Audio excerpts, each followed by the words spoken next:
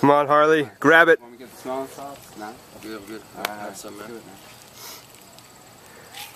One, two, three. Grab it, grab it. These, these gloves are so slippery. I could do this yeah, get easy, it, get it man. Yeah. I could do this easy. Just gloves. I and got, slip, I got chalk, man. Pick up. the Nah, I'm a bit allergy to the chalk. Like, Okay. I normally could do this, man. Trust me, but Yeah. it's just a bit slippery. Oh, I, I believe it. I, I could do. Was it? What we got in here? 440. 440. Yeah. Man, I've done 540, man. Just I need a good glove. Cool. We'll come back another time. Alright. Yeah. Yeah, we gotta work on the. I'm gonna get warranty from RAI. It's Yeah, it's yeah. it's just slippery, Yeah. you know. But normally this is no problem for me. I do, I do this. I, I rep this stuff. Yeah.